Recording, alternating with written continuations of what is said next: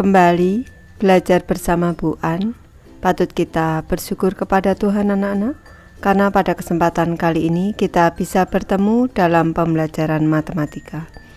Materi ini untuk anak-anak ibu yang kelas 7 bab 4 bentuk aljabar uji kompetensi bab 4 anak-anak soal nomor 8 sampai dengan 10 ada di halaman 156 sampai dengan 158.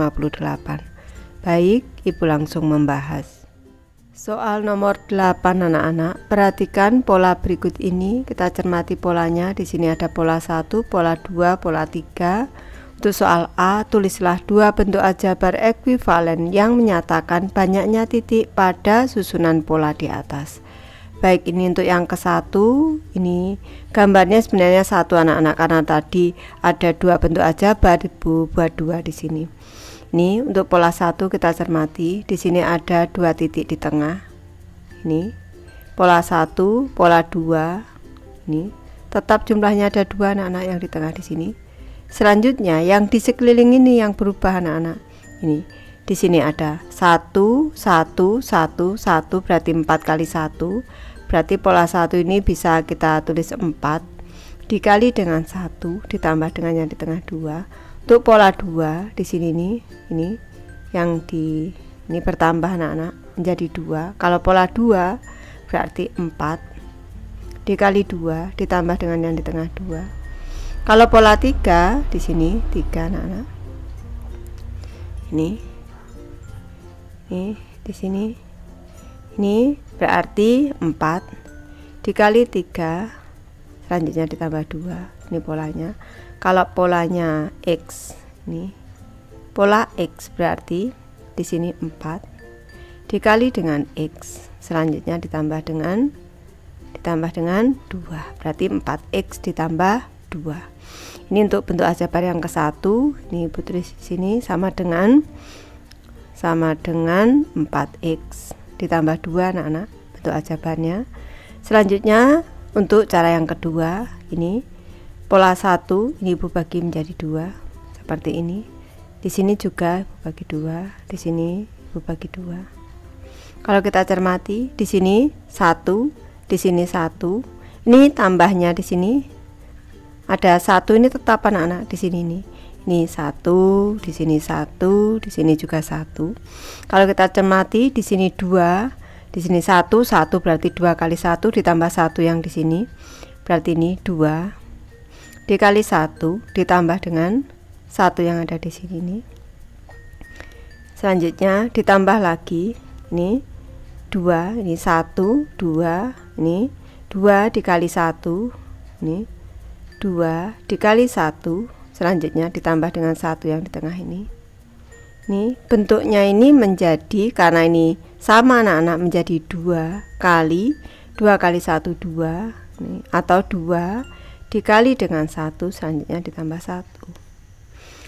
Selanjutnya pola 2 di sini. Pola 2 ini berarti 2 ini 2 2 di sini 2 1 2 2 dikali 2 ditambah 1 tulis di sini ini 2 dikali 2 ditambah 1 ditambah lagi dengan 2 dikali 2 ini 2 dikali 2 ditambah 1 di sini ditambah 1 ini sama dengan karena ini ada dua kelompok bentuknya sama berarti dua dikali dua dikali dua ditambah dengan satu. Kalau pola tiga anak-anak berarti kalau pola tiga berarti di sini ini.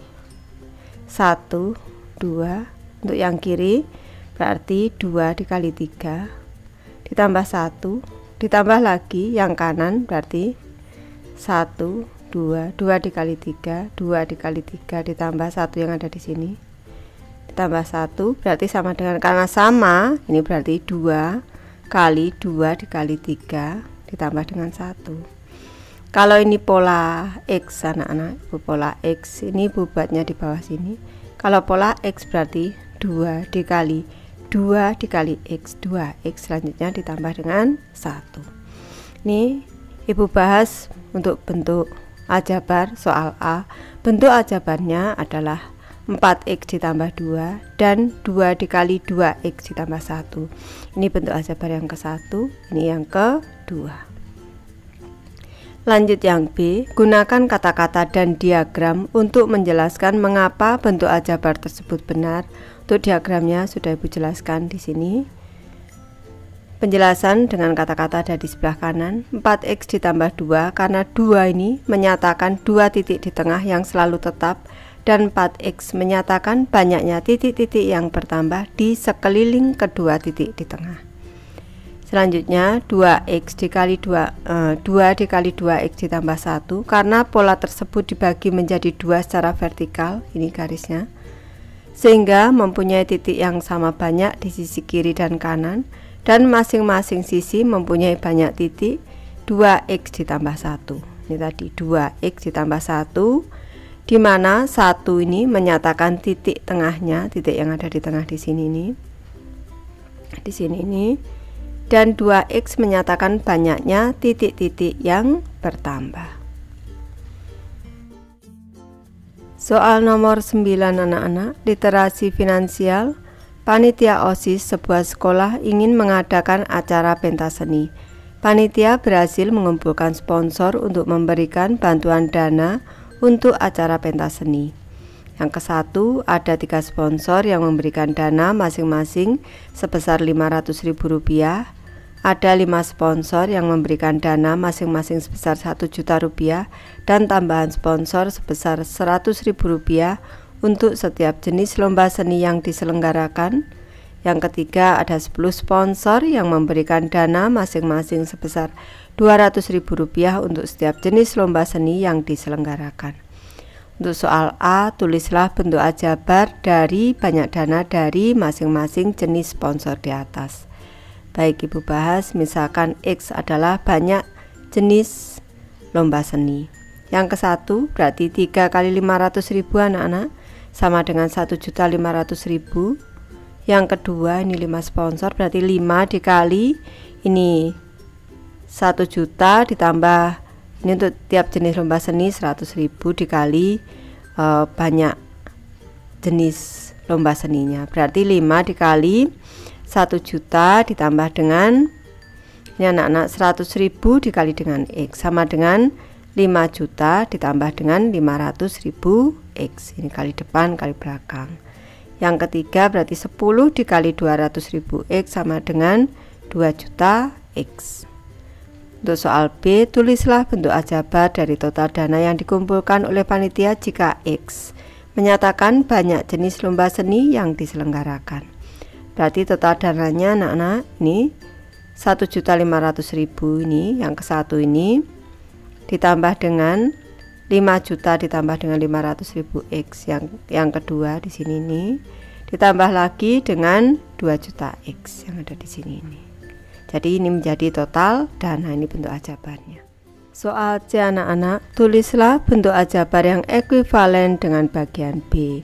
Kalau tadi untuk yang B tadi ditambahkan anak-anak, maka bisa membentuk bentuk ajabar yang ekuivalen yaitu 6.500.000 ditambah dengan 2.500.000 X. Bisa juga 200 2.500.000 X ditambah dengan 6.500.000. Lanjut yang D, Deskripsikan arti dari setiap unsur dalam bentuk ajabar yang ekuivalen pada bagian C. Baik, Bu bahas soal D, 6.500.000 ini menyatakan dana yang akan diterima oleh OSIS terlepas dari banyak jenis lomba seni yang diselenggarakan. Sedangkan 2.500.000 X menyatakan banyak dana yang akan diterima oleh OSIS tergantung dari banyak jenis lomba seni yang akan diselenggarakan. Lanjut ke soal E. Jika lomba seni yang diselenggarakan adalah lomba band, lomba menyanyi, lomba seni drama, lomba tari, dan lomba membaca puisi, berapa total dana yang terkumpul dari sponsor? Baik, ada lima jenis lomba seni yang diselenggarakan sehingga X-nya sama dengan 5. Nih, total dananya berarti tadi 6.500.000 ditambah 2.500.000 dikali dengan banyaknya Lomba tadi ada 5, berarti sama dengan 6.500.000 ditambah dengan 2.500.000 rupiah, ini sama dengan 19 juta. Total dana yang akan diterima OSIS dari sponsor adalah 19 juta rupiah. Soal nomor 10 anak-anak, panitia OSIS menjual tiket untuk konser musik yang merupakan acara tahunan sekolah. Rani menjual A tiket.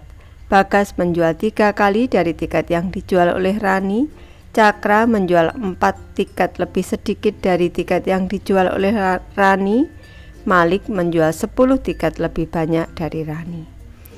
Baik, untuk soal A, tulislah bentuk aljabar dari banyak tiket yang dijual oleh Bagas, Cakra, dan Malik. Baik, Ibu bahas untuk soal A, banyak tiket yang dijual oleh Bagas berarti tiga kali yang dijual Rani berarti 3A, Nana. Selanjutnya, banyak tiket yang dijual oleh Cakra tadi, empat tiket lebih sedikit dari tiket Rani berarti A dikurang 3 Selanjutnya banyak tiket yang dijual oleh Malik berarti ini 10 tiket lebih banyak dari Rani berarti A ditambah 10. Untuk soal B, tulislah bentuk aljabar dari total tiket yang terjual oleh Rani, Bagas, Cakra, dan Malik.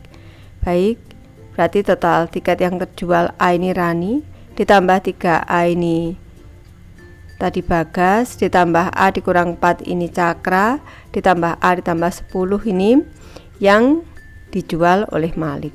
Ini kalau dibuka kurungnya menjadi A ditambah 3A ditambah A dikurang 4 ditambah A ditambah 10. A ditambah 3A 4A ditambah A 5A ditambah A 6A. Berarti 6A. Dikurang 4 ditambah 10 berarti ditambah 6. Bentuk ajabannya menjadi 6A ditambah 6. Lanjut ke soal C. Jika ada 10 tiket yang tidak terjual, tulislah bentuk aljabar dari banyak tiket secara keseluruhan. Berarti banyak tiket secara keseluruhan berarti 6A ditambah 6 bentuk aljabar yang terjual ditambah 10 tiket yang tersisa sama dengan 6A ditambah 16.